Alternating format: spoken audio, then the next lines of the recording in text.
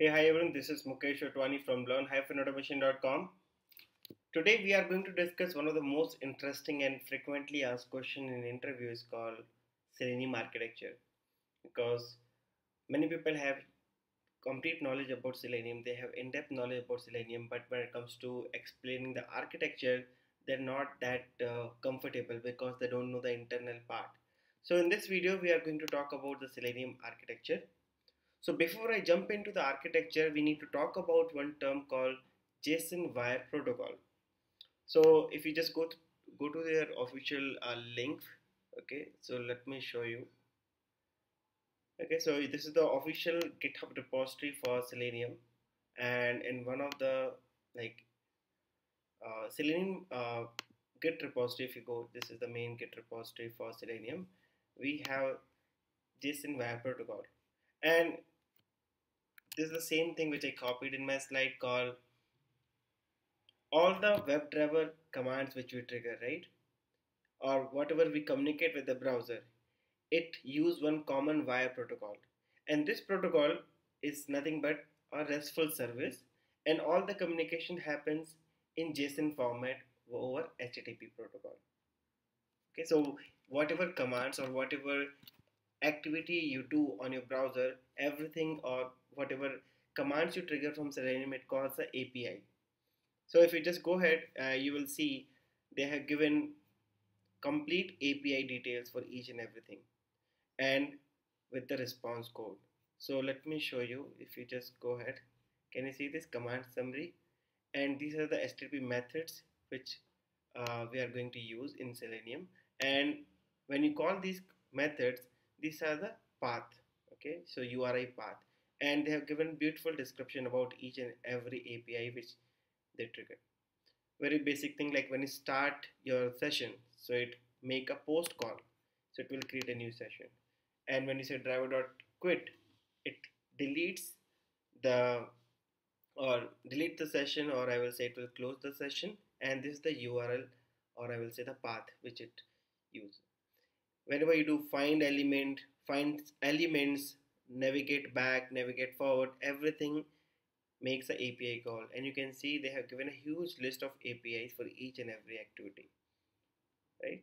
So whether you say get title it's a get call. Get page source it's a get call right? So everything they have documented. And now if you go back to the top of the page for selenium 4 they have written again since Selenium 4 is totally based on W3 standards so they have revamped the complete uh, APIs and you will see everything is now coming under W3 standard.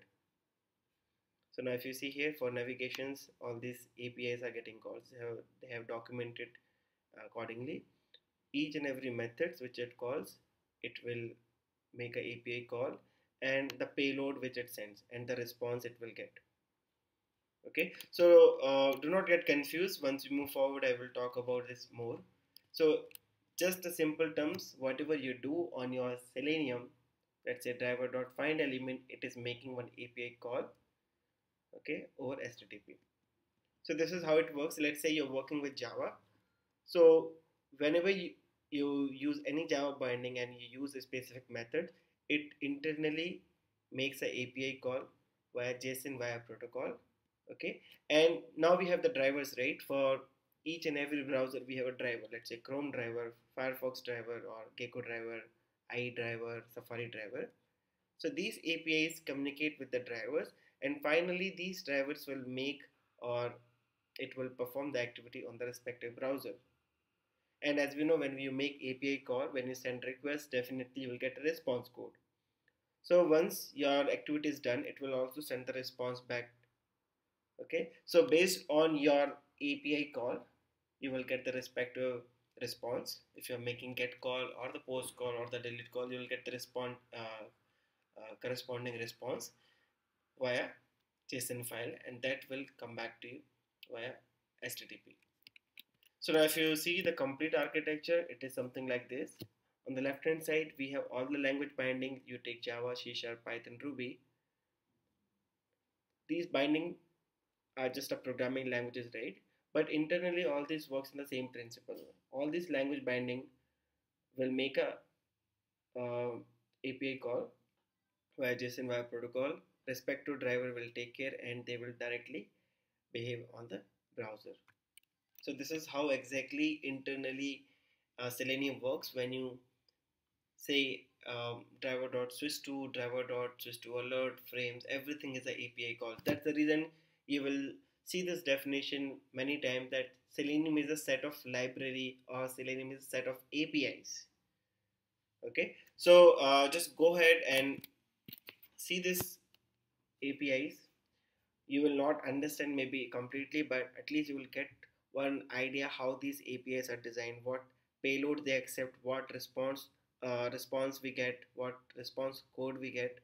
And if you're not able to understand the current, uh, I will say the documentation, you can definitely go back to the previous documentation. Somehow, somehow I find this one is more easy. Okay, they have given what kind of capabilities it exists, right? And uh, these are the cookies based object, these are the log based objects, and these are the final command and the responses. So when you get a stale element reference exception, you get response code at 10. So they have designed in a such a way that each and everything have a proper response code. Whether it's a timeout exception, no window exception, invalid cookie exception, or any kind of exception have a proper response code. And the last thing, in case if you want to see how uh, this log files, so this is one of the sample log files.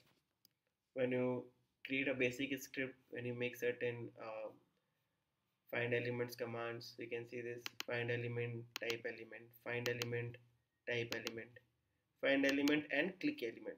So everything is happening via API call. You're sending the request you're getting the response. So if you're able to design this diagram in interviews it is more than enough. Because this is how exactly Selenium works.